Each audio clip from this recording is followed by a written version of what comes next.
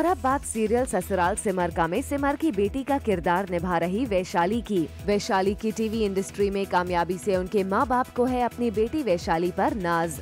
मेरे mom dad मुझे phone करके बताते हैं कि जब भी कहीं पे मैं ऑफ़िस में बैठा होता हूँ और तुम्हारा सीरियल आ रहा होता है और कोई मेरा क्लाइंट आता है तो बड़े गर्व से मैं बोलता हूँ पहले भी बोलती थी, अरे, ये आपकी बेटी है ना?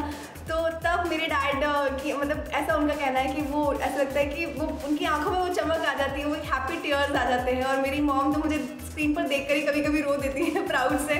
सो इससे बड़ी बात क्योंकि मैं generally if I say the real thing I am living for my parents this dream is my parents dream and I am trying to fulfil it